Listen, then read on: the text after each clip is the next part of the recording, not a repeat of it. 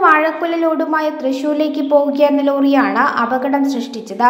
നടുവിലങ്ങാടി വളവിൽ നിയന്ത്രണം വിട്ട് മറിയുകയായിരുന്നു ലോറി. ഡ്രൈവർ പരിക്കുകളേൽക്കാതെ രക്ഷപ്പെട്ടു. മറ്റ് വാഹനങ്ങൾ ഇടിക്കാതിരുന്നതിനാൽ വൻ അപകടം ഒഴിവായി. ലോറി ഒരു ഭാഗത്തേക്ക് ചെരുങ്ങിയ റോഡിൽ പതിക്കുകയായിരുന്നു. വാഴക്കുല ചിതറി റോഡിൽ വീണു. ക്രെയിൻ ഉപയോഗിച്ച് ലോറി ഉയർത്തിയാണ് ഗതാഗത തടസ്സം നീക്കിയത്. മഴയിൽ വാഹനത്തിന്റെ നിയന്ത്രണം നഷ്ടമാവുകയും വളവിലെത്തിയപ്പോൾ മറിയുകയായിരുന്നുവെന്ന് ഡ്രൈവർ പറഞ്ഞു. വണ്ടി ചവിട്ടിയിട്ട് കിട്ടുന്നില്ല. ചവിട്ടിയിട്ട് കിട്ടാത്തല്ല വണ്ടി അവിടുന്ന് തെന്നിപ്പോരാ. റോഡിന്റെ ഈ മഴ പെയ്തിട്ട് റോഡിൽ ഗ്രിപ്പ് കിട്ടുന്നില്ല. സംഭവം വണ്ടിക്ക് ടയറിന് ഗ്രിപ്പും കാര്യങ്ങളെല്ലാം അവിടുന്ന് തെന്നി പോന്നിട്ട് വലത്തോട്ട് മറയേണ്ട വണ്ടി ഇടത്തോട്ടേക്കാണ് ഞാൻ കട്ട് ചെയ്തപ്പോൾ ഒഴിവായി കിട്ടി. അപകടത്തിൽ ലോറിക്ക് വലിയ കേട് പറ്റിയിട്ടില്ല. രാവിലെയോടെ ക്രെയിൻ ഉപയോഗിച്ച് ലോറി ഉയർത്തി. തുടർന്ന് നാട്ടുകാരുടെ സഹായത്തോടെ വാഴക്കുലകൾ ലോറിയിൽ തന്നെ നിറച്ച് യാത്ര തുടർന്നു.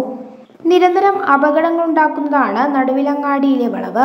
ഒട്ടേറെ തവണ ചെറുതും വലുതുമായ വാഹനങ്ങൾ ഇവിടെ അപകടത്തിൽപ്പെടാറുണ്ട്. ഇത് സംബന്ധിച്ച് പലതവണ അധികൃതർക്ക് നിവേദനങ്ങൾ നൽകിയിട്ടുണ്ടെങ്കിലും നടപടി ഉണ്ടായില്ലെന്ന് നാട്ടുകാർ പറയുന്നു.